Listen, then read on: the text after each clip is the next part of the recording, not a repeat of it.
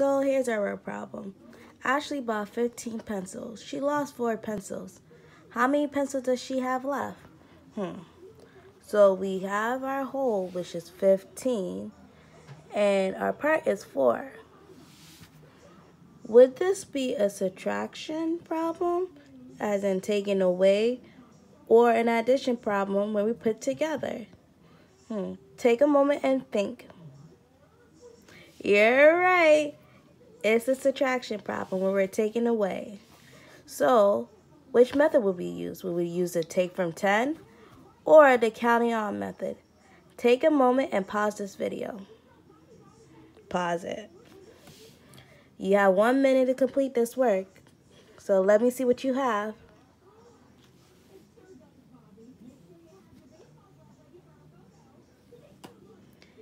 If you did the take from 10 method, your problem should look like this. Where you break 15 apart and you make a 10 frame. But in your 10 frame, you are taking away 4, which is the part from the 10. And you end up with 10 take away 4 equals 6, which is on this side, you see you have 6 left. But on the other side, you have 5. So you would add a 6 and a 5, which would give you the 11 for the number amount together. And then you end up with an equation. Wait, pause. If 6 plus 5 equal 11, and I'm trying to figure out 15 minus 4, what would be the answer? I think it would be 15 minus 4 equal 11. So Ashley would have 11 pencils. That's if you did the 10 the 10, take from 10. But if you did the count all method, which I did, you have 15 take away 4, but you don't know the answer.